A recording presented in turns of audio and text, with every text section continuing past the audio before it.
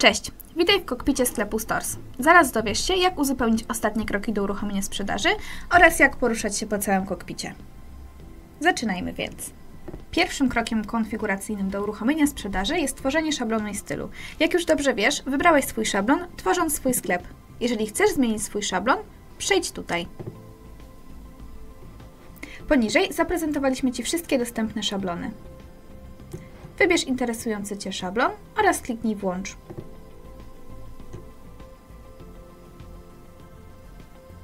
Jak widzisz, włączono już nowy motyw. Szablon Twojego sklepu został poprawnie zmieniony.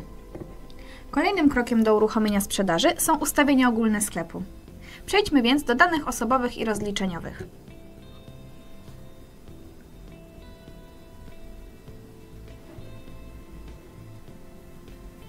Pierwszymi danymi, które musisz uzupełnić, jest zaznaczenie, czy jesteś osobą prywatną, czy firmą. Uzupełnij swoje imię oraz nazwisko.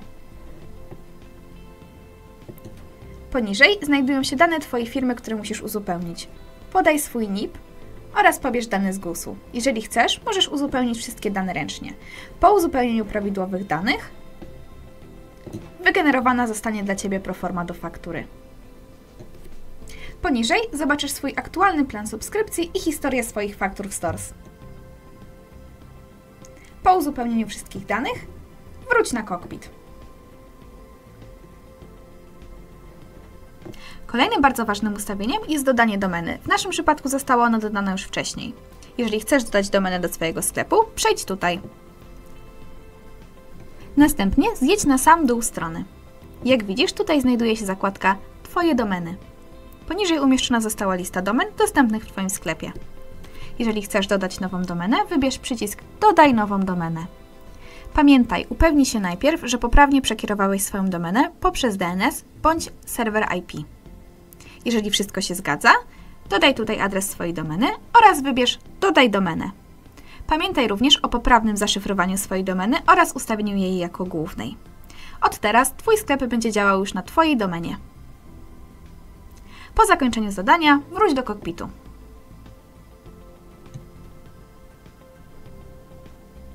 Kolejnym punktem na ostatnich krokach do uruchomienia sprzedaży są ustawienia prawne. Przejdźmy więc do nich. Uzupełnianie ustawień prawnych zaczniemy od zakładki RODO. Poniżej znajduje się ankieta przekazywania danych osobowych. Ankieta, którą uzupełnisz, będzie miała wpływ na drugi punkt polityki prywatności, czyli odbiorcy danych osobowych. Odpowiedz na poniższe pytania, a następnie zapisz zmiany. Pod ankietą znajdują się funkcje związane z RODO. Określ tutaj, z jakich funkcji korzysta Twój sklep. Decyzje, które tutaj podejmiesz, będą miały wpływ na wyświetlanie treści bazowej Twojej polityki prywatności. Na końcu zapisz zmiany. Po uzupełnieniu wszystkich pytań przejdź do zakładki Polityka prywatności. Znajdujemy się teraz w zakładce Polityka prywatności. Jak widzisz, oferujemy Ci bazową stronę polityki prywatności przygotowaną przez prawnika. Pamiętaj jednak, że możesz ją usunąć i utworzyć własną. Upewnij się jednak, że informacje, które tam umieszczasz, nie zawierają błędów i są aktualne. Jako właściciel witryny jesteś odpowiedzialny za prawidłowe korzystanie z witryny i za zapewnianie informacji wymaganych w polityce prywatności Twojej strony. Poniżej możesz zobaczyć podgląd swojej strony polityki prywatności. W następnym module możesz dostosować komunikaty polityki prywatności dostępne na Twojej stronie. Na sam koniec pamiętaj o poprawnym uzupełnieniu danych firmy na Twojej stronie polityki prywatności.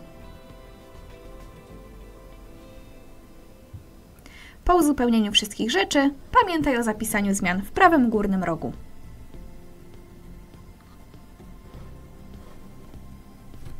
Kolejną stroną ustawień prawnych jest regulamin sklepu.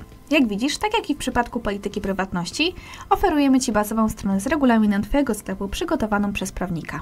Możesz oczywiście ją usunąć i utworzyć własną. Pamiętaj jednak, że zawarte w niej informacje musisz aktualizować i upewnić się, że nie zawierają one błędów.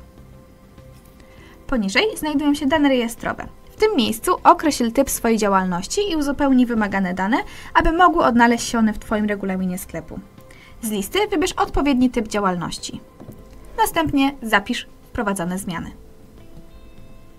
Poniżej danych rejestrowych znajdują się elementy objęte licencją. W tym miejscu możesz zdecydować, które elementy Twojego sklepu objęte są licencją. Następnie zajmij się ustawieniami stron. Sprecyzuj, w których miejscach Twoi klienci znajdą odpowiednie informacje, aby dostosować treść Twojego regulaminu. Strona z rozpiską metod płatności, strona z kosztami dostawy oraz strona reklamacji. W przypadku braku tych stron pamiętaj o poprawnym ich dodaniu. Na sam koniec uzupełnij dane firmy na stronie regulaminu sklepu. Po poprawnym wprowadzeniu wszystkich danych, zapisz zmiany w prawym górnym rogu. W ostatniej zakładce ustawień prawnych odnajdziesz ciasteczka oraz zgody Twoich użytkowników. Teraz możesz wrócić do kokpitu sklepu. Ostatnim etapem do uruchomienia sprzedaży są ustawienia sprzedaży. Przejdźmy więc do ustawień płatności. Zarządzaj płatnościami. Jak widzisz, podanymi na start metodami płatności Stores są PayPal Standard za pobraniem oraz przelew bankowy. Jeżeli chcesz skorzystać z szybkich płatności, uruchom integrację TPay. Jeżeli chcesz skonfigurować wybrane przez siebie metody płatności, kliknij Dokończ konfigurację. Pamiętaj, aby włączyć lub wyłączyć wybraną przez Ciebie metodę płatności. W tytule umieść nazwę, która będzie widoczna dla Twojego klienta w koszyku. Dodaj swój opis, jeżeli chcesz, dodaj dodatkowe instrukcje. Umieść szczegóły konta, następnie pamiętaj o zapisaniu zmian.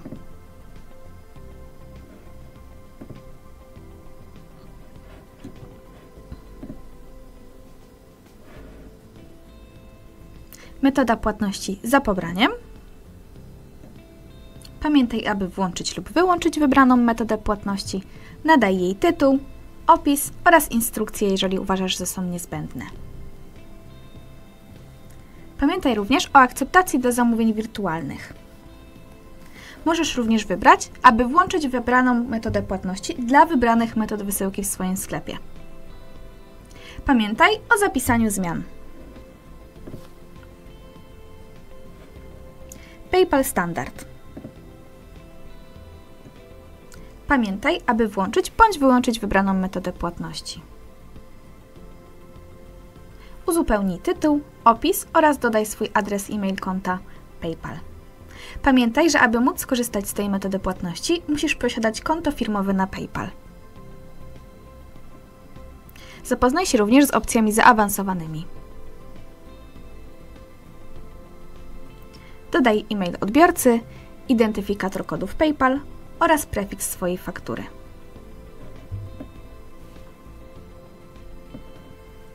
Pamiętaj również, aby poprawnie uzupełnić dane API. Wprowadź nazwę użytkownika, hasło oraz podpis. Na koniec pamiętaj o zapisaniu zmian. Kolejnym krokiem są ustawienia wysyłek. Przejdź do ich edycji. Zjedź do modułu strefy wysyłki oraz wybierz Zarządzaj tutaj. Z nazw strefy wybierz Polskę oraz przejdź do jej edycji.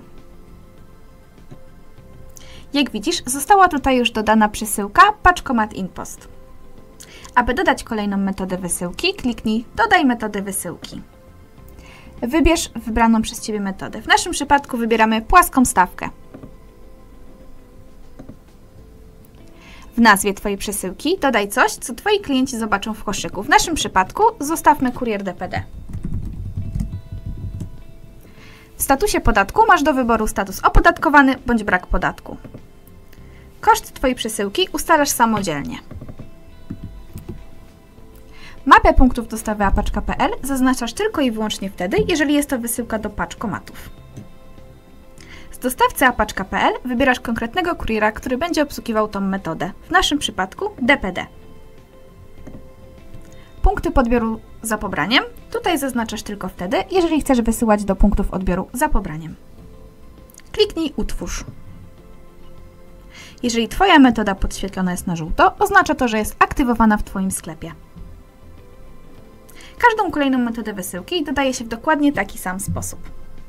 Jeżeli w swoim sklepie chcesz dodać darmową dostawę, przejdź do jej edycji. Jak widzisz, nazwa jest już uzupełniona. Jeżeli chcesz, uwzględnij tutaj konkretnego kuriera, który będzie obsługiwał tą darmową dostawę. Pamiętaj, że darmowa dostawa ma swoje wymagania. Po rozwinięciu listy możesz wybrać kupon umożliwiający darmową wysyłkę, minimalna wartość zamówienia, minimalna wartość zamówienia lub kuponu oraz minimalna wartość zamówienia oraz kuponu. Wybierz jedną z opcji. Pamiętaj, aby uwzględnić również minimalną wartość zamówienia. Jest to kwota, którą klient będzie musiał wydać w Twoim sklepie, aby otrzymać darmową wysyłkę. Ustalmy 200 zł. Jeżeli chcesz, dodaj rabat dla kuponów. Mapę punktów dostawy apaczka zaznacz tylko wtedy, jeżeli będą to również wysyłki do paczkomatu. Z dostawcy apaczka.pl możesz wybrać konkretnego przewoźnika obsługującego tą metodę wysyłki. Tylko punkty odbioru za pobraniem, wtedy wyświetlone zostaną tylko punkty odbioru za pobraniem dla Twojej metody wysyłki. Pamiętaj o zapisaniu zmian. Jeżeli chcesz aktywować swoją metodę, przeciągnij ją na kolor żółty. Na koniec pamiętaj o zapisaniu zmian w lewym dolnym rogu. Po wprowadzeniu wszystkich metod wysyłki wróć do kokpitu. Ostatnim krokiem jest dodanie Twojego pierwszego produktu. Na karcie produktu dodaj takie dane jak nazwa produktu. Pod spodem umieść opis produktu. Jest to długi opis wyświetlany pod Twoim produktem. Umieść tutaj wszelkie specyfikacje oraz informacje istotne dla Twojego klienta. Aby dodać pierwsze zdjęcie Twojego produktu, umieść je jako obrazek produktu. Każde kolejne zdjęcia dodawaj jako galeria produktu. Po lewej stronie znajduje się tabela o nazwie Dane produktu. Tutaj podejmij decyzję, czy Twój produkt jest produktem Tutaj podejmij decyzję, czy Twój produkt jest produktem prostym, grupowym, zewnętrznym bądź z wariantami. Podejmij również decyzję, czy Twój produkt jest produktem wirtualnym bądź do pobrania. Pamiętaj również, aby dodać cenę swojego produktu. Poniżej, jeżeli Twój produkt znajduje się w cenie promocyjnej, dodaj ją.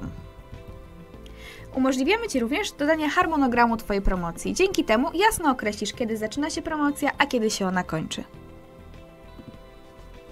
Określ również status podatku swojego produktu oraz klasę podatkową.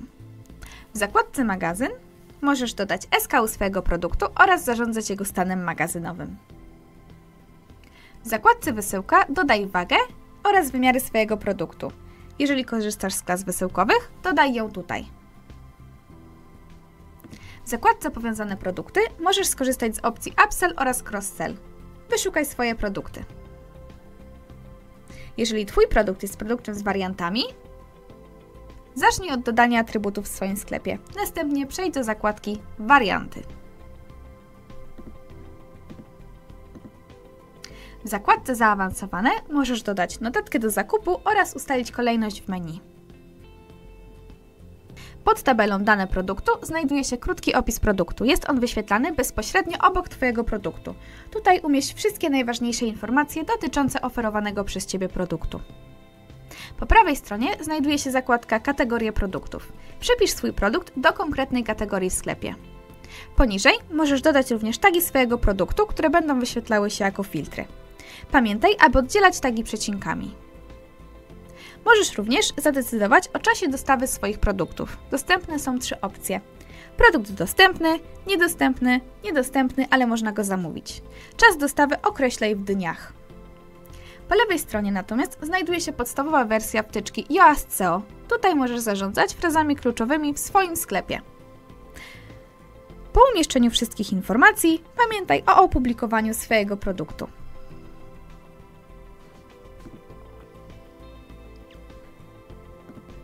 Ten oto sposób przeszliśmy przez ostatnie kroki do uruchomienia sprzedaży. Teraz pokażę Ci, jak poruszać się po reszcie kokpitu Stores. Przejdźmy do zakładki Zamówienia. W tym miejscu pojawią się wszystkie zamówienia złożone przez Twoich klientów. Jeżeli chcesz dodać zamówienie ręcznie, wybierz przycisk Dodaj zamówienie. Pamiętaj, aby uzupełnić dane do faktury oraz dane do wysyłki. Zmień również status swojego zamówienia. Poniżej pamiętaj, aby dodać produkty do swojego zamówienia. Na końcu przelicz wartość. Po wprowadzeniu wszystkich tych danych pamiętaj o zapisaniu zmian.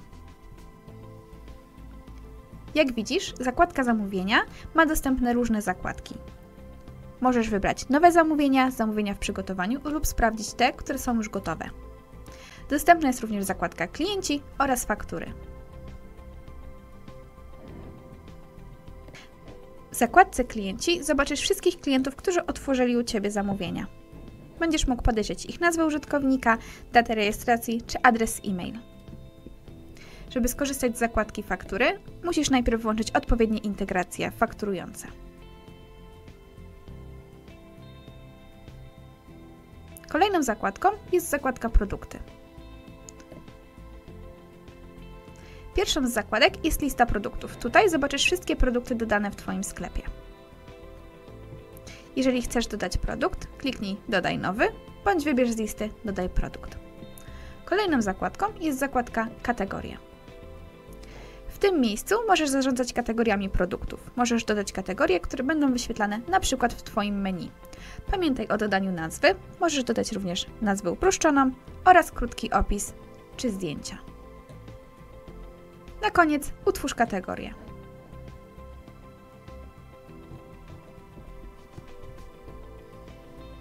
Kolejną zakładką w produktach są atrybuty. Atrybuty umożliwią Ci definiowanie dodatkowych danych produktów, np. rozmiaru bądź jego koloru. Możesz użyć też atrybutów w pasku bocznym sklepu, tworząc tzw. Tak filtry produktowe. Pamiętaj, aby umieścić w nim nazwę oraz nazwę uproszczoną. Na nasze potrzeby wpiszemy sobie test. Poniżej kliknij Dodaj atrybut. Jeżeli chcesz dodać poszczególne wartości dla tego atrybutu, ciśnij Konfiguruj taksonomię. I tutaj możesz dodać sobie poszczególne taksonomie dla swojego atrybutu. W naszym przypadku nazwijmy je test 1. Jak widzisz, teraz na karcie produktu będziesz mógł dodać już swój pierwszy atrybut. Kolejną zakładką jest zakładka tagi i etykiety. Tym miejscu możesz utworzyć tagi, które potem przypiszesz do swoich produktów. Będą one widoczne na karcie produktu. Pamiętaj, aby dodać nazwę, uproszczoną nazwę oraz opis. Nie zawsze będzie on widoczny, jednak niektóre szablony mogą wyświetlać go. Przedostatnią zakładką w produktach są opinie. Tutaj będziesz mógł zobaczyć opinie zamieszczone przez Twoich klientów. Możesz je usuwać, zatwierdzać i przeglądać. Ostatnią z zakładek jest import produktów. Jeżeli posiadasz plik CSV ze swoimi produktami, w tym miejscu możesz go zaimplementować. Jak widzisz, tutaj przygotowaliśmy dla Ciebie krótką instrukcję, a poniżej możesz pobrać gotowy arkusz z pełną instrukcją oraz przykładowym szablonem do importu produktów CSV. Dzięki temu szybko zaimportujesz swoje produkty. Kolejną zakładką w naszym menu jest wygląd i treści. Jako pierwsze wyświetlają się strony. Tutaj dostępne są wszystkie strony na Twoim sklepie. Możesz nimi zarządzać lub wchodzić w ich edycję. Jeżeli chcesz, możesz również utworzyć nową stronę. Następną zakładką są media. W tym miejscu znajdują się wszystkie pliki multimedialne dodane do Twojego sklepu. Jeżeli chcesz, dodaj nowy plik multimedialny i wykorzystaj go w swoim sklepie. Kolejną zakładką jest zakładka menu. W tym miejscu możesz edytować menu dostępne w Twoich sklepach, m.in. informacje czy menu główne. Po boku widzisz element Dodaj element menu. W tym miejscu możesz wybierać, co chcesz dodać do swojego menu głównego. Możesz dodać strony, wpisy, własne odnośniki czy kategorie produktowe. Jeżeli chcesz, aby Twoje menu posiadało elementy podrzędne, chwyć wybrany element oraz przeciągnij go delikatnie w prawo. Jak widzisz, teraz jest już elementem podrzędnym. Na koniec pamiętaj o zapisaniu zmian swojego menu.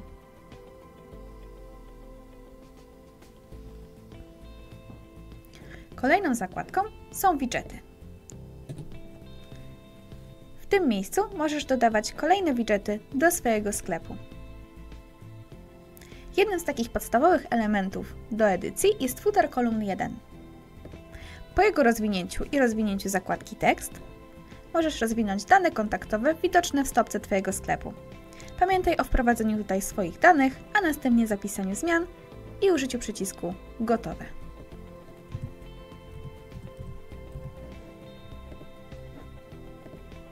Teraz zmiany zostały zapisane. Kolejną zakładką jest szablon. Tym miejscu są dostępne wszystkie oferowane przez nas szablony. Jeżeli chcesz, możesz zmienić wybrany przez Ciebie szablon. Kliknij Włącz. Po wyczyszczeniu pamięci podręcznej oraz cache sklepu, nowy szablon będzie prawidłowo działał na Twoim sklepie. Przedostatnią zakładką jest zakładka Zaawansowane. Tym miejscu możesz zarządzać rozbudowanymi nagłówkami oraz szatą graficzną swojego sklepu czy fontami. Możesz wybrać typografię nagłówków oraz tekstu oraz pełną kolorystykę swojego sklepu.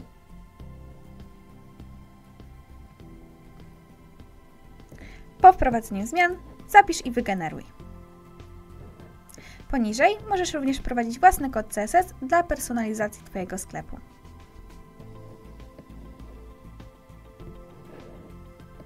W zakładce Kompozycje możesz wybrać kompozycje styli, które dla Ciebie przygotowaliśmy. W zakładce Dodatkowe treści możesz dodać treść strony koszyka, która będzie w nim wyświetlana. Możesz również dodać treść potwierdzenia zamówienia dla Twojego klienta. W zakładce Produkty możesz dodać numer odnośnika do produktu. Pamiętaj o zapisaniu zmian. Ostatnią zakładką są stałe sekcje. W tym miejscu możesz dodać jakąś stałą sekcję, która będzie wyświetlać się na każdej stronie Twojego sklepu. Wybierz Dodaj nową sekcję.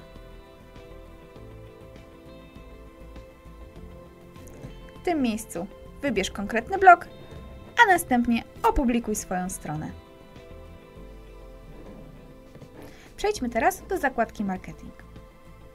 Na pierwszej stronie możesz uruchomić kampanię z zaufanymi agencjami marketingowymi. Wystarczy, że pobierzesz ich ofertę i skontaktujesz się z nimi bezpośrednio. Dwie następne zakładki związane są z Yoast SEO. W tym miejscu poprawisz pozycjonowanie swojej strony.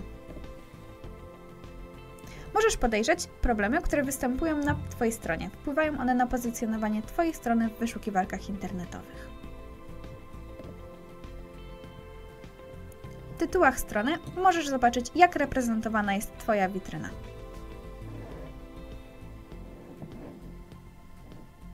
W zakładce kupony utworzysz kupony dla swoich klientów. Aby dodać kupon, kliknij Utwórz pierwszy kupon. W kodzie kuponu wprowadź jego nazwę. Opcjonalnie możesz dodać również opis. Typie rabatu zadecyduj, czy jest to kwotowy rabat na koszyk, procentowy rabat, czy może kwotowy rabat na produkt.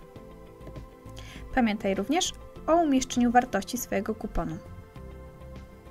Jeżeli Twój kupon zapewnia darmową wysyłkę, zaznacz to tutaj. Pamiętaj również o wprowadzeniu daty wygaśnięcia kuponu.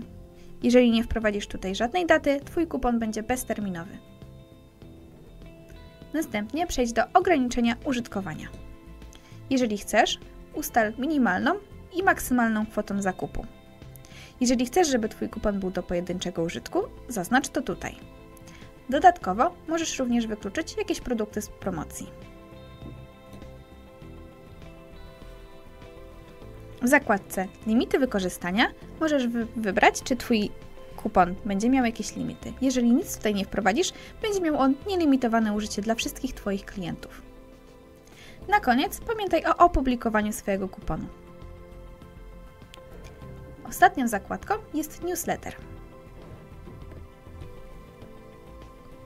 W tym miejscu tworzy się lista Twoich klientów, którzy zapisali się do Twojego newslettera.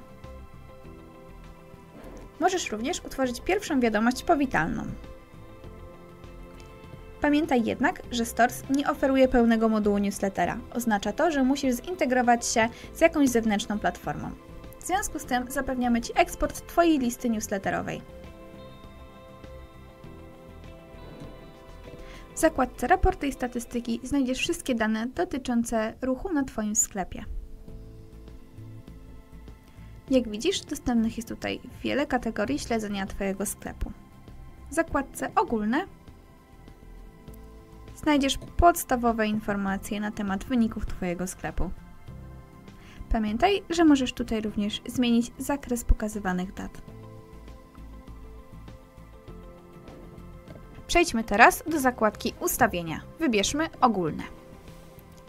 Ustawienia podstawowe skonfigurowaliśmy przy okazji ostatnich kroków do uruchomienia sprzedaży. Przejdźmy więc do zakładki Sklep. W tym miejscu możesz zmienić nazwę swojego sklepu oraz ustawić dla niego stronę główną. Pod spodem dodasz logo dla Twojego sklepu. Jak widzisz, zamieściliśmy tutaj dla Ciebie niezbędne wskazówki. Jeżeli chcesz, umieść również fawikon. Dodatkową opcją jest dodanie sloganu Twojego sklepu. Pojawi się on przy nazwie sklepu na stronie internetowej oraz na karcie Twojej przeglądarki. Jeżeli chcesz, dodaj również belgę informacyjną. Jest to krótki opis wyświetlający się na froncie Twojej strony. Na samym dole tej zakładki znajdują się Twoje domeny, które omówiliśmy już przy ostatnich krokach do uruchomienia sprzedaży. Przejdźmy teraz do zakładki Zaawansowane. W tym miejscu możesz wybrać strukturę URL dla produktów. Jeżeli chcesz, uruchom social media dla swojego sklepu. W tym miejscu podaj poprawne adresy URL. Jeżeli chcesz, dodaj rozwijane subkategorie menu. Jeżeli w swoim sklepie obawiasz się działalności szkodliwych botów spamerskich, uruchom u siebie tą funkcję. Natomiast jeżeli chodzi o obrazki Lazy Load, jest to funkcja, która pozwala zoptymalizować ładowanie obrazów w sklepie. Dzięki temu w danej chwili ładowane są tylko te elementy, które dla Twojego sklepu są najważniejsze. Na samym dole Twojej strony widzisz informację o podpisaniu umowy RODO.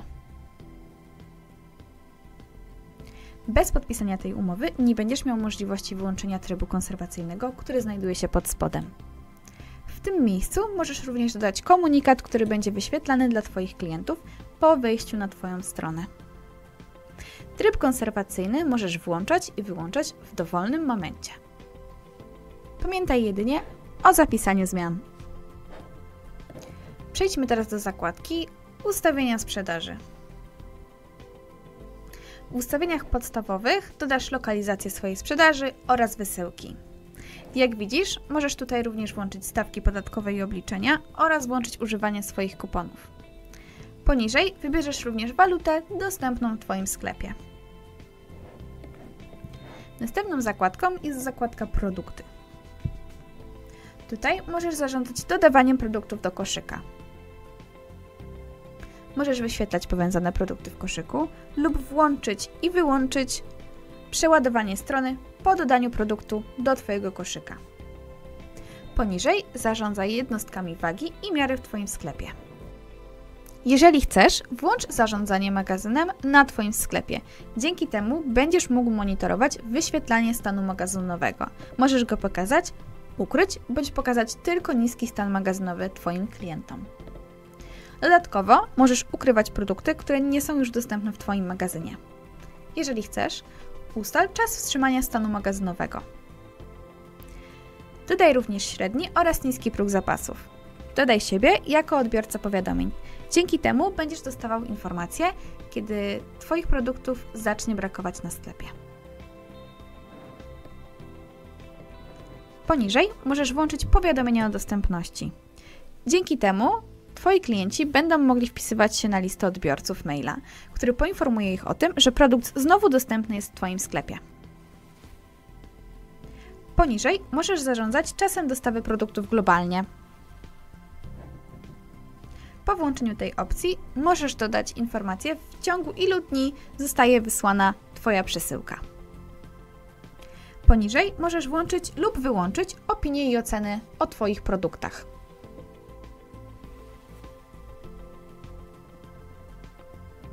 Jeżeli chcesz zezwolić swoim klientom na pytanie o produkt, musisz włączyć tą opcję. Jeżeli w swoim sklepie chcesz mieć listę życzeń, pozwól swoim klientom zapisywać produkty do niej. Jedną z opcji w tej zakładce są również dodatkowe opcje produktu. Dzięki temu możesz wyświetlać ceny netto, kiedy zaznaczoną masz cenę brutto. Dzięki temu obie te ceny będą widoczne dla Twojego klienta. Dodatkowo, jeżeli chcesz, możesz pokazać SKU na karcie swojego produktu. Dodatkowo, możesz również pokazać nazwę kategorii na karcie produktu. W tym miejscu również możesz zarządzać czasem działania etykiety nowość. Czas działania etykiety nowość określany jest w dniach. Jeżeli chcesz, możesz również dodać informacje o tym, jaki jest czas na zwrócenie produktów. Jak widzisz, tutaj wpisz wartość. Możesz wybrać, czy są to dni, tygodnie bądź miesiące. Na koniec pamiętaj o zapisaniu zmian. Zakładkę płatności skonfigurowaliśmy przy okazji ostatnich kroków do uruchomienia sprzedaży. Przejdźmy więc do zakładki Podatki. W tym miejscu możesz zarządzać stawkami podatkowymi na Twoim sklepie. Zadecyduj na początek, czy będziesz wpisywał ceny z podatkiem na Twoim sklepie. Możesz również zadecydować, w jaki sposób będzie obliczany podatek oraz jak będą wyświetlane ceny w Twoim sklepie. Dodatkowo, jeżeli posiadasz produkty na innych stawkach niż standardowe, w tym miejscu możesz je skonfigurować. Wystarczy, że po prostu dodasz produkt.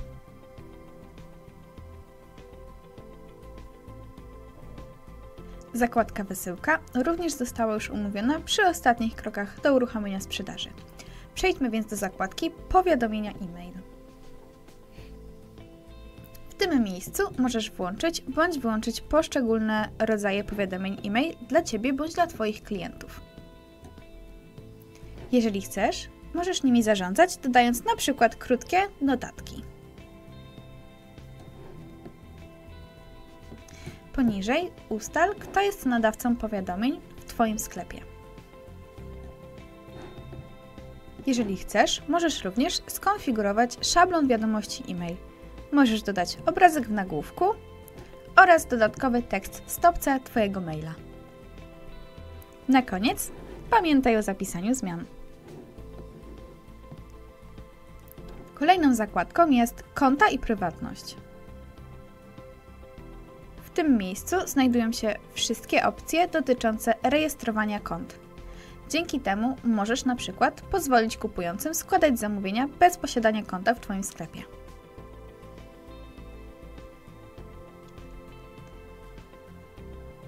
Dodatkowo możesz zarządzać również usuwaniem kont Twoich klientów. Na samym dole znajduje się opcja usuwania danych osobowych. Dzięki temu automatycznie możesz usuwać nieaktywne konta, czy na przykład zrealizowane zamówienia. Przejdźmy teraz do ostatniej zakładki, czyli ustawienia zaawansowane. W tym miejscu możesz zdefiniować lokalizację Twojej strony, aby użytkownik zawsze znalazł się w odpowiednim miejscu. Dodatkowo możesz również zdefiniować punkty końcowe. Jeżeli chcesz, włącz dodatkowe funkcje w Twoim sklepie. Na samym dole tej zakładki możesz zarządzać rozmiarami zdjęć wyświetlających się na listingu Twoich produktów. Jeżeli nic tutaj nie uzupełnisz, standardowe rozmiary zdjęć zostaną ustawione automatycznie. Jeżeli chodzi o zakładkę ustawienia prawne, skonfigurowaliśmy ją już przy ostatnich krokach do uruchomienia sprzedaży. Przejdźmy więc zatem do ustawień skrzynek mailowych. W tym miejscu możesz zarządzać skrzynkami, które są przypisane i dotyczą domeny głównej Twojej sklepu. Ilość skrzynek, którą możesz utworzyć, zależna jest od wybranego przez Ciebie pakietu sklepu. Aby dodać nową skrzynkę, wybierz ten przycisk. W tym miejscu dodaj przedrostek swojej skrzynki oraz ustal dla niej hasło.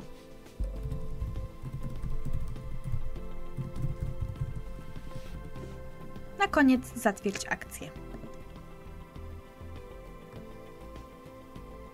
Jak widzisz, została utworzona skrzynka. Jeżeli chcesz, możesz zmienić jej hasło oraz ją usunąć. W zakładce SMTP Maile zewnętrzne możesz ustawić nagłówki dla swoich maili. Jeżeli chcesz nadawać maile z zewnętrznej skrzynki, zarządzaj z nią z tego poziomu. Dodaj jej adres oraz dodaj podpis. Jeżeli Twoja domena posiada już skrzynkę internetową, w tym miejscu podaj wszystkie niezbędne dane. Podaj adres serwera, ustal szyfrowanie oraz podaj port. Pamiętaj o włączeniu TLS oraz uwierzytelniania. Dodatkowo podaj tutaj login lub adres e-mail do swojej skrzynki oraz hasło. Na końcu pamiętaj o zapisaniu zmian. Po wprowadzeniu zmian odblokujesz opcję wysłania maila testowego. Na koniec pamiętaj o zapisaniu zmian. Dodatnią zakładką jest wyświetlanie stałych sekcji. Jeżeli w zakładce Wygląd i treści stałe sekcje utworzyłeś jakieś sekcje, w tym miejscu możesz przypisać je do konkretnych podstron. Ostatnią zakładką w Stores są integracje. W tym miejscu możesz zobaczyć wszystkie integracje dostępne w Stores. W dowolnym momencie możesz je dodawać, włączać lub konfigurować. Pamiętaj o tym, że nie mamy możliwości dodania zewnętrznych integracji. Zapoznaj się więc z listą i ustal, które integracje są niezbędne dla Twojego sklepu. W zakładce Twoje integracje zobaczysz włączone integracje na Twoim sklepie.